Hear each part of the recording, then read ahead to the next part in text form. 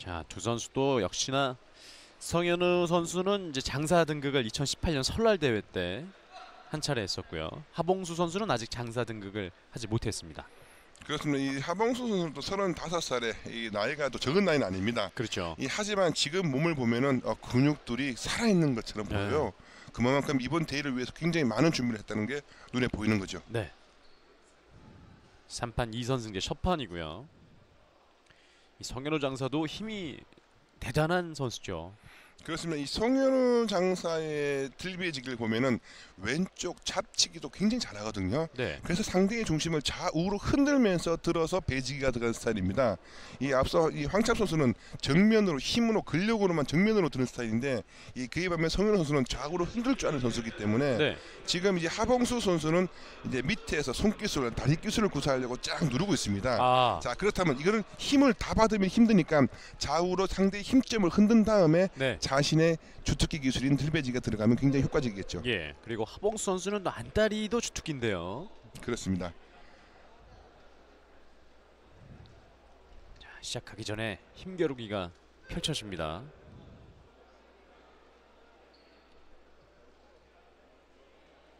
자, 황태혁 주심이 선수에게 다가가는데요.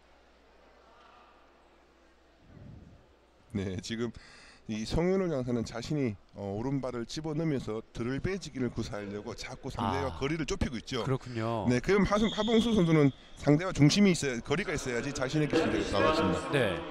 성현우 장사가 들었어요. 발목걸이, 자, 발목걸이, 발목걸이 입니다. 성현우의 발목걸이.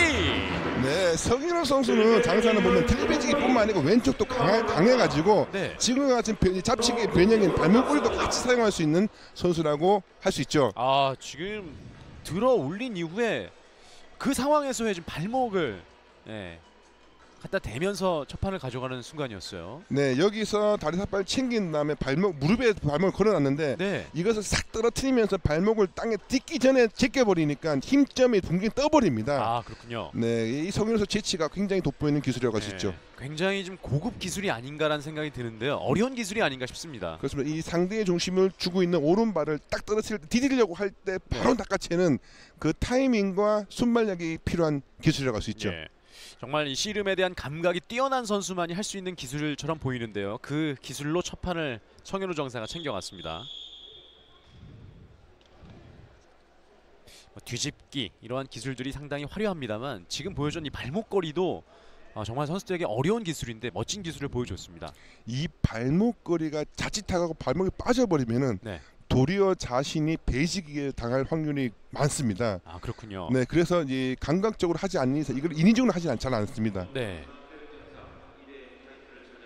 첫 판을 챙겨갔습니다. 연수구청의 성현우 장사, 청사빠의 성현우 장사, 연수구청 소속인데요. 이 최근식 감독과 구자원 코치가 연수구청을 지도하고 있고요. 제주특별자치도청의 박희연 감독의 모습이었습니다. 네, 방금 최근 이 연수구청의 최근식 감독은 바로 이번 대회부터 감독 사령탑을 맡게 되었죠. 네. 네, 그러면 박희영 감독은 금년도 1월부터 이 제주특별시 사령탑을 맡게 되었습니다. 예.